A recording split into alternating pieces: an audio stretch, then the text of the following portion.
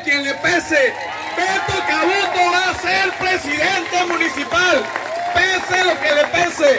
Y que nos escuchen bien, de norte a sur y de este a oeste, Beto va a triunfar este 2 de junio. Señores, señoras, los que están en la plaza, enfrente, en el depósito, en la taquería, en el depósito del modelorama, todos, gracias por venir a escuchar nuestro mensaje y nuestras propuestas. Somos candidatos jóvenes, somos candidatos plenos y leales, somos candidatos nuevos, no venimos de una reelección disfrazada, no venimos a verle la cara a la gente, venimos a hablarles de frente y conciso, no venimos a burlarnos de ustedes ni a pedirles otra oportunidad por tres años. Esos que quieren venir a pedirles otra oportunidad, ese diputado Dalín, que se vaya a su casa a trabajar, que se siente y que deje otro nuevo para que podamos gobernar.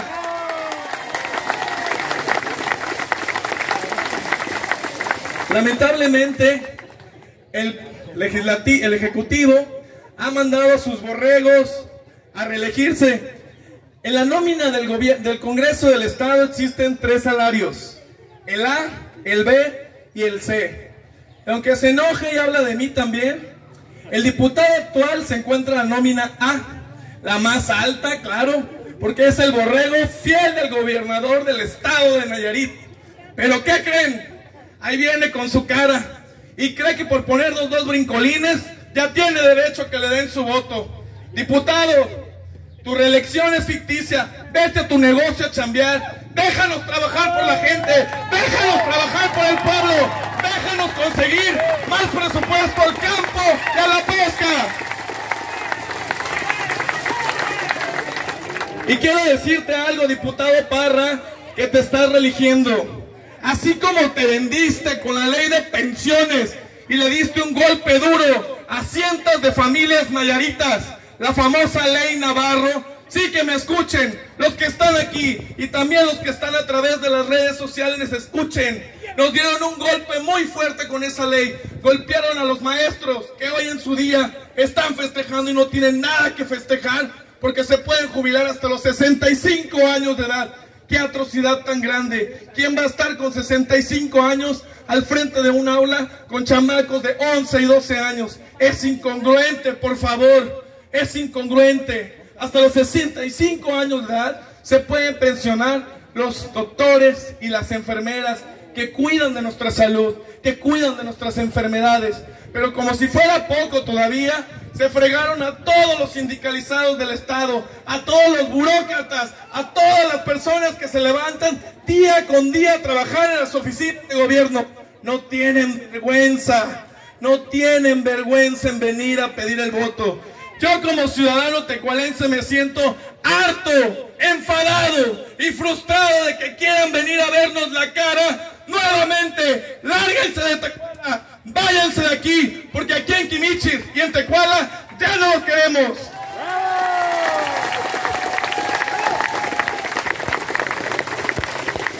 Andan cantando que tienen un plan C. Deberían de tener un plan C para abastecer de medicamentos los hospitales. Deberían de tener un plan C para, para mejorar el presupuesto al campo y a la pesca. Nosotros que caminamos día con día, la gente, si es cierto, reclama mejores calles, agua potable. Y como dice el Señor, les traen el recibo, pero no hay agua.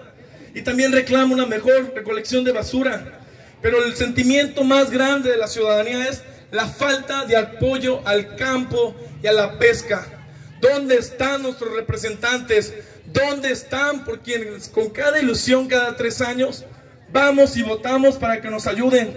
Nada más se venden y se van del lado de quien les conviene para asegurar su candidatura en la próxima elección. Eso hacen de verdad y únicamente se ríen y se burlan de nosotros.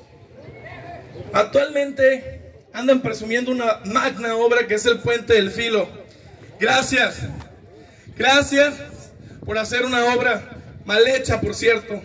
Pero les pregunto, ¿y los que vivimos en Tecuala qué? ¿Nos vamos a ahogar o le pegamos mordidas al puente? Porque el bordo se está desbaratando, ¿eh? Pero eso sí, viene el gobernador, ya están listos para tomarse la foto como que fuera la obra del siglo. Mientras no tenemos agua, mientras nos estamos muriendo de hambre, mientras el campesino antes cosechaba éxitos, pero hoy cosecha puras deudas, porque nos cerraron la financiera rural, porque nos cerraron los préstamos a fondo perdido, porque nos cerraron la puerta y lo único que hacen es darnos la espalda.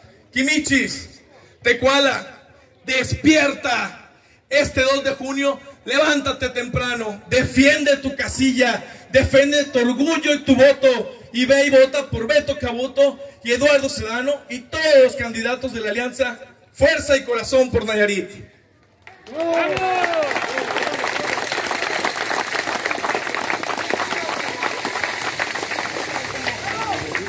Y bueno, ya los vamos a dejar un ratito porque luego se van a enojar. Y cuando llegue a la casa me van a mandar un mensaje porque son bien sentidos los cabrones. ¿Cuáles son mis propuestas? Lo primordial, lo principal. La pimienta y la sal ya le echamos. Por aquí viene lo bueno. Tenemos que abrir la casa de gestoría social. Hace años, años, años que no existe la casa de gestoría social. ¿Para qué sirve una casa de gestoría social? Para que ustedes, señores, señoras, se acerquen y busquen al diputado, puedan escucharlos, pedir un apoyo. Carlos, que nosotros somos de aquí de Tecuala, necesitamos a veces hasta para el pasaje para ir a atender a nuestra gente, gente con leucemia, con cáncer, gente que va a checarse alguna cuestión cardíaca porque no tenemos un hospital de especialidades, ahí puedan acudir a pedir cualquier tipo de apoyo, que claro, siempre esté al alcance y a la mano de nosotros, sin prometer cosas que no vamos a poder cumplir. Tenemos que ir al Congreso a defender las causas más nobles. Tenemos que ir al Congreso a defender a los grupos vulnerables, al sector primario. El sector primario que es la base de la economía de Tecuala y de Quimichis, ganadería, pesca y agricultura. Nosotros no vivimos de agroindustrias, nosotros no vivimos de maquiladoras, nosotros no vivimos de armadoras, vivimos de la ganadería, la pesca y la agricultura. Así es. Si nosotros no tenemos buenas cosechas y buen precio el sorgo y el frijol, nos va de la patada. La verdad, ahorita andamos pidiendo prestado para todo. Los legisladores, muy a gusto, en la camioneta, de viaje, con beneficios, por estar promoviendo el plan C y por estar en la nómina de la letra A. Eso tenemos que ir a hacer al Congreso del Estado, a defender la voz, a defender la voz de cada uno de nuestros, ciudadanos. Ustedes son quienes nos, quien nos representamos. Nosotros vamos al Congreso a hablar de ustedes, a hablar lo que escuchamos en la calle cuando vamos al comisariado Giral, cuando vamos a la cooperativa, cuando vamos en la calle con Chonita a echarnos las tostadas, o cuando, cuando vamos con Beto a echarnos el taco. Pero si el diputado, si el diputado actual nada más se la pasa de Tepic a su casa y se encierra, pues el muñeco nunca se va a dar cuenta de las necesidades del pueblo. Y hablando con el pueblo, se palpa y se siente lo que ustedes necesitan.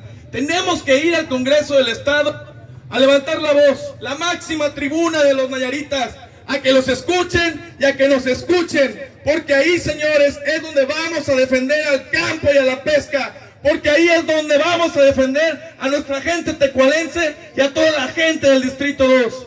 No se les olvide este 2 de junio, votar por todos los candidatos de la Alianza Fuerza y Corazón por Nayarit. Ayúdenme un poco. Sufragio efectivo, no reelección. Sufragio efectivo, no reelección. Sufragio efectivo, no reelección.